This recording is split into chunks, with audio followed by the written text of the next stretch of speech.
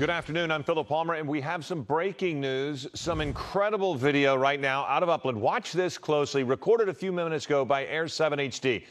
The small plane crashed while landing at the airport. You can see the plane hit the runway, bounced into the air, tried to get control again, but then wrecked in that field before finally coming to rest. We, we don't have a lot of information, but we can tell you the pilot was awake and alert, but appeared to be stuck in the cockpit. Emergency crews did get him out. We saw him walking around. We're working to get more information, and we'll have more updates throughout the day.